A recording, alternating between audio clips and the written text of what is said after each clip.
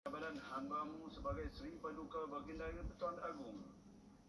Kami memohon berkatiah ya Allah istiadat pertabanan ini. Engkau limpahkanlah riayah dan inayahmu.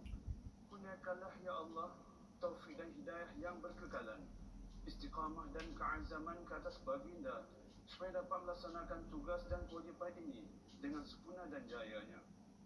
Allah ya Hanan ya Manan dengan berkat nama-namamu yang mulia kami mendadah tangan mohon engkau selamatkanlah serta peliharakanlah kami dari segala ancaman dan keburukan hindarkanlah kami dari segala bentuk kejahatan agar hidup kami di dunia mendapat keberkatan di akhirat mendapat kebahagiaan Allah ya hadi ila siratin mustaqim pimpinlah kami ke jalan kebenaran jalan lurus yang engkau gariskan.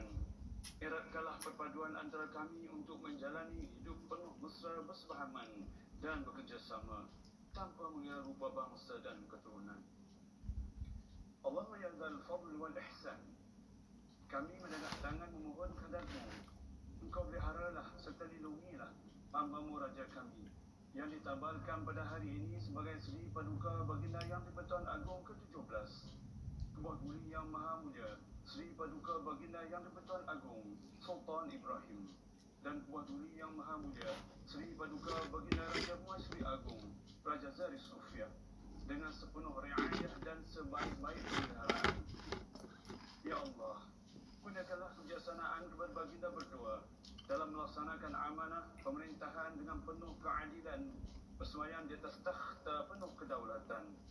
Ya Allah, gunakanlah keafiatan dan keberkatan yang berpanjangan ke atas buah duli yang maha mulia Seri Paduka Baginda yang Ketuan Agung sempena hari pertabalan baginda pada hari ini. Allah yang zal jalali wal ikram. Keselamatan dan kesejahteraan juga kami pohonkan ya Allah ke atas duli-duli yang maha mulia sultan dan raja-raja serta duli yang maha mulia masyuri-masyuri baginda. Begitu juga kepada kuat duli yang maha mulia paduka Seri Baginda Sultan dan yang Pertuan Negara Brunei Darussalam dan kuat duli yang maha mulia paduka Seri Baginda Raja Isteri Pangeran Anak Haja Saleh serta ke bawah duli yang maha mulia Raja Bahrain. Begitu juga ke atas tuan-tuan yang terutama yang dipertuan-dipertuan negeri dan yang amat berbahagia tuan-tuan serta kerabat-kerabat diraja sekaliannya.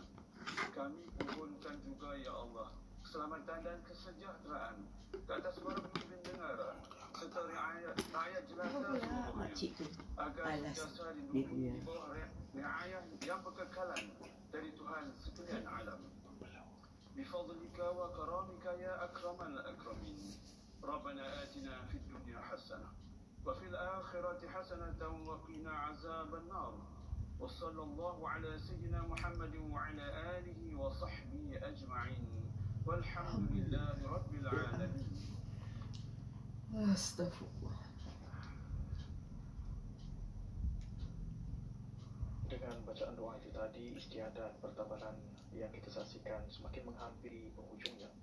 Di mana seketika nanti Datuk Paduka Maharaja Lela akan mohon menghadap untuk menerima kembali kitabullah Al-Quranul Karim Musaf yang berada di situangku di sepanjang istiadat lambang tingginya kedudukan Islam sebagai agama persekutuan